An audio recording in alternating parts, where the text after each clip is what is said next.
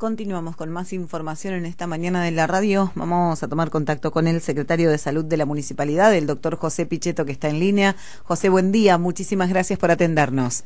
Hola, buen día, Andrea.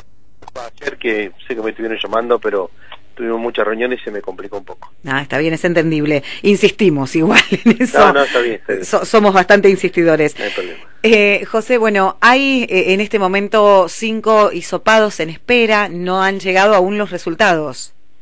Todavía no llegaron.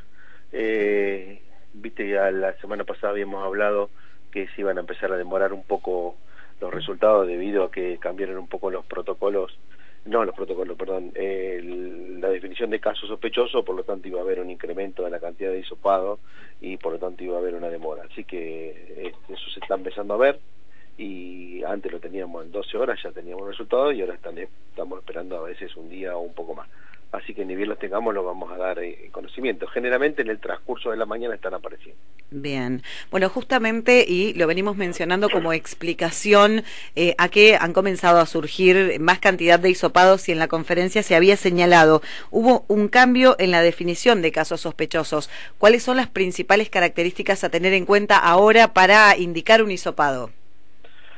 Bueno, se empezaron, eh, empezó a haber un, una mayor cantidad de signos sintomatología compatibles con casos sospechosos de COVID.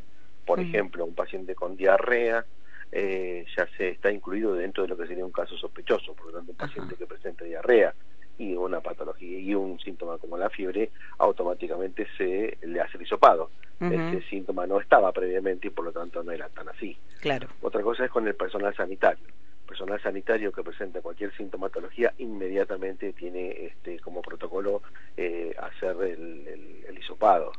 eh, cambiaron esas modalidades, hay muchas definiciones, mucho más exhaustivo, pero eh, son em, eh, normativas que tienen que ver con, por un lado, lo que es el personal sanitario personal esencial, por un lado, y por otro lado, la definición de caso para personas de la comunidad en general ya no es necesario tener dos o tres síntomas y tener algún contacto estrecho específicamente con área que viene de circulación comunitaria como era anteriormente.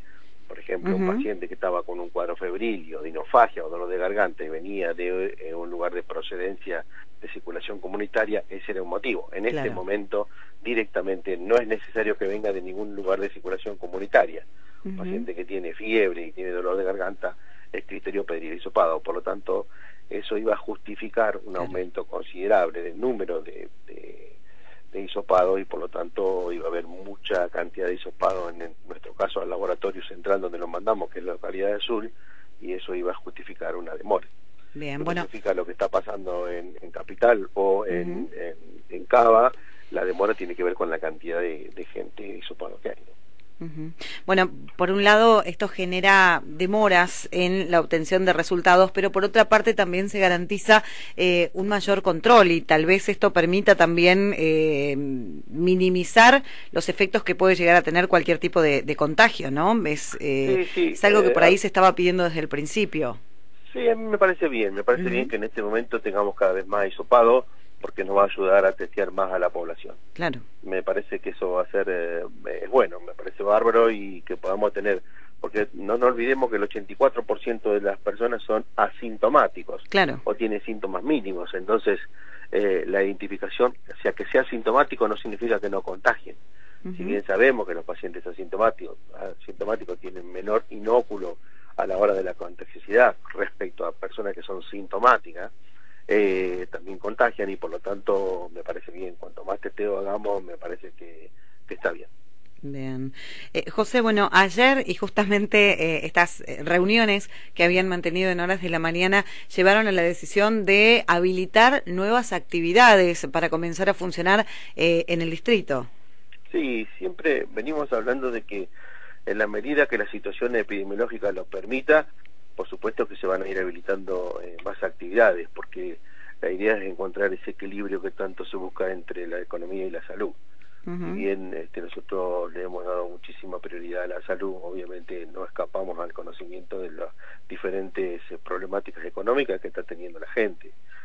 Eh, ayer tuvimos muchas reuniones durante todo el transcurso de la mañana, pudimos definir algunas habilitaciones, una tiene que ver con los hoteles, otra con los diferentes credo y también habilitamos, eh, ya no recuerdo qué otra más, eh, los, los cultos de las iglesias, los eh, hoteles y también las cantinas de los clubes. Era un pedido que teníamos de los clubes. Eh, nos quedó la habilitación de los jardines maternales, estamos trabajando sobre eso, pero necesitamos la autorización también de la provincia y es algo que se nos va a complejizar, pero también estamos trabajando sobre ello.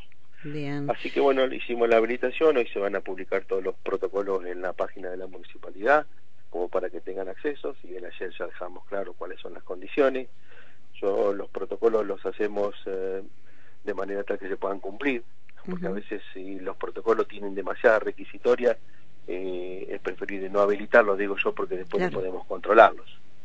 Eh, cada municipio utiliza un protocolo determinado siempre y cuando se respeten ciertas normas de bioseguridad, que el objetivo de los protocolos tiene que ver con minimizar las posibilidades del contagio, eh, pero bueno, de, la idea es trabajar con cada uno de ellos para que en forma responsable después puedan hacerlo cumplimentar, más allá de el abordaje de control de la municipalidad.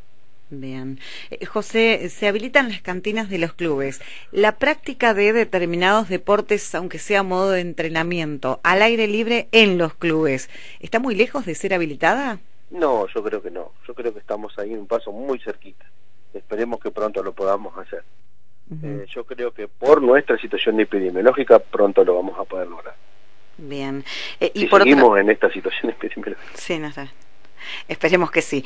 Eh, José, por otra parte, y lo habíamos hablado, sincerando la situación, es muy difícil el control de la presencia de gente en los espacios eh, públicos, en los costados de los accesos, en las canchas, en las plazas, eh, durante el fin de semana. Y en las últimas horas se conoció y se trató en el Consejo Deliberante una propuesta para sancionar a quienes no utilicen el tapabocas. También un control que se me hace, debe ser bastante complicado.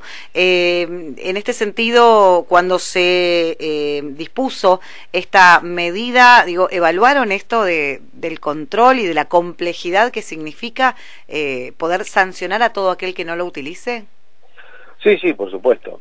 Eh, como bien decías vos, ya la gente se junta en las plazas y ya prácticamente eso va, va, a quedar instalado, va a ser muy difícil que lo podamos, salvo que se retroceda de fase, como ha ocurrido en otros lugares, eh, me parece que la gente está cansada de, de, esta, de, esta, de este gran confinamiento que llevamos más de cinco meses y obviamente que la gente está agotada y se entiende. Eh, Créeme que se entiende absolutamente lo que les pasa, sobre todo a la gente más joven, porque la gente con factores de riesgo y los mayores de 65 años son los que más se cuidan y se quedan guardados en las casas y la verdad que es meritorio ver cómo lo hacen. Ahora tenemos un grupo etario, que es el grupo más rebelde, digo rebelde entre comillas, ¿no? Que son los adolescentes, la gente más joven que tiene, tiene ganas de salir, tiene ganas de encontrarse y lo hace, y de hecho lo vemos, como sucedió el fin de semana pasado en las plazas y en los espacios comunes. Me parece que eso viene para quedarse también y por lo tanto lo que pedimos, hemos venido hablando mucho tiempo sobre la colocación del tapa nariz boca, que hoy sabemos que es un elemento de bioseguridad y un elemento de protección personal importante, no solamente para uno, sino para los demás, y vemos que eso no se cumple en su totalidad. Por lo tanto, tener una medida eh, que lo pueda legislar el uso obligatorio me parece bárbaro. Ahora, si vos me decís, bueno, vamos a poder controlar a todo, y bueno, no lo sé, no lo sé, pero me parece que si le damos un, un tinte este, eh, legislativo, que sabiendo que eso es obligatorio, me parece que vamos a, a poder este, tener un poquito más de control y sobre todo eh, la gente que no pueda cumplir. Bien, bueno, si bien eh, no está escrita la autorización para que la gente realice este tipo de reuniones en los espacios públicos, esto de la obligatoriedad del, uso del tapanariz boca viene un poco a, eh, digamos, ayudar en ese sentido para el cuidado, aquellos que eh, ya estamos cansados de estar encerrados eh, y, salimos a la calle, al menos que cumplamos con esa medida preventiva. Andrea, todos estamos cansados de esto, de, lo que nos está pasando. Eh, si uno lo ve, yo como profesional médico atiendo gente en mi consultorio y también hemos visto incrementado la patología psíquica de los pacientes, tanto de los adultos como de los chicos, sobre todo también de los chicos. Si bien Peguajó, estamos hablando de que estamos en una fase muy distinta, eh, pero el hecho de habernos sacado completamente de nuestra forma de vida diaria eh, esta, esta situación de pandemia ha hecho que este, en, la, en la población general genere una impronta de eh, ansiedad, de angustia, de la habilidad emocional, bueno, de un montón de, de, de signos, sintomatología de origen psíquico que no la teníamos. Y eso lo reconocemos y está más que claro. eh, y bueno, tratamos de trabajar para de alguna u otra manera minimizar esto. Peguajó está en una fase 5, en una fase que no tiene nada que ver con lugares donde hay circulación comunitaria, pero asimismo nos cuesta mucho que la gente cumpla los eh, elementos básicos, siempre hablamos lo mismo, tres medidas o tres vacunas que tenemos, que es el distanciamiento social, este, la colocación del tapa nariz boca y el, y el lavado de manos, es simplemente eso, y por lo tanto me parece que esta medida nos va a venir bien. Bien.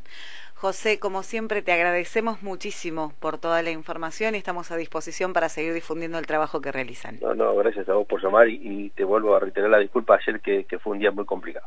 Está bien, lo entendemos. Muchas gracias. Vamos. Bueno, José Pichetto, el secretario de Salud de la Municipalidad, como dicen los chicos en Twitter, ¿viste? No se puede salir, guiño, guiño. Eh, en realidad es como que... Mmm, y ya está ya no se puede hablar, es la segunda entrevista que hacemos con el doctor Pichetto y ya no se puede hablar de una cuarentena. Peguajó no tiene casos positivos, estamos en una situación eh, eh, muy buena, digamos, respecto de lo que tiene que ver con otros distritos y entonces esta medida, que si bien es, es, muy difícil de controlar a toda la gente que no usa el barbijo, viene como a querer reforzar un poco la idea de que nos cuidemos. Usando el tapa nariz boca o barbijo, distanciamiento y el lavado de manos estaríamos ya cumpliendo con las medidas y bueno, después si salimos, salimos pero nos cuidamos.